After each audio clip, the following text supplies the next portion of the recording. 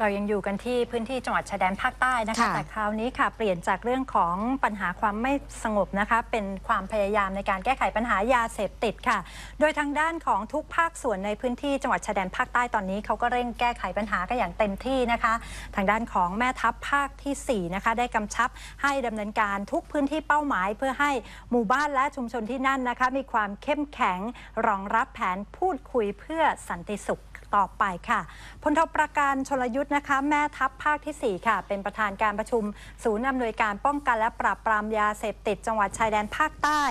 ซึ่งมีขึ้นที่กองอำนวยการรักษาความมั่นคงภายในภาค 4 ส่วนหน้าตำบลเขาตูมอำเภอยะรังจังหวัดปัตตานีค่ะ โดยมีนายเพิ่มพงษ์ชวลิตเลขาธิการ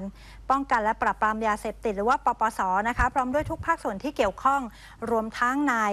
หะยีสะมะแอ ท่าน้ำอดีตแกนนำกลุ่มพูโลเข้าร่วมการประชุมด้วยค่ะ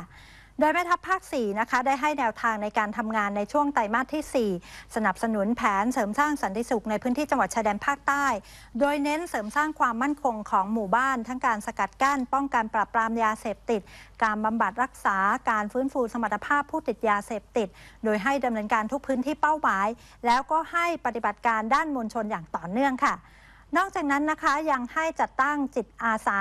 ยาลันนันบารู เป็นนกลไกสำคัญในหมู่บ้านเป้าหมาย เพื่อสร้างความเข้มแข็งในชุมชนไทยพุทธ โดยใช้งานยาเสพติดเป็นช่องทางสำหรับการสร้างความเข้าใจด้านอื่น ๆ ด้วย พร้อมทั้งขับเคลื่อนงานมวลชน รองรับแผนพูดคุยเพื่อสันติสุขในระดับพื้นที่ต่อไปค่ะ